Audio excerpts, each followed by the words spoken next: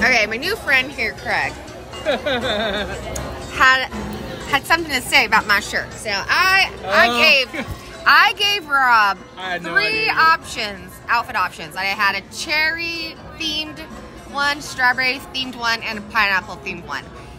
He picked my least favorite was just the pineapple because the whole Dole Whip thing, and that's okay because it went with my ears. I, I'm okay with it, Rob. Thank you.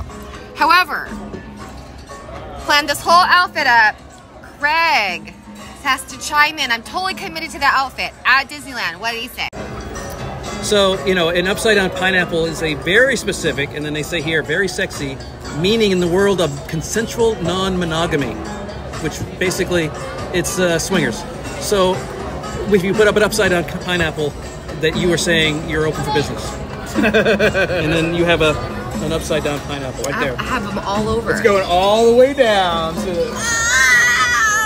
And I thought I was looking cute as an ode to Dole Whip. Pixar special, Yeah. and then I got the chili mango. Instead, I was an accidental pervert at Disneyland.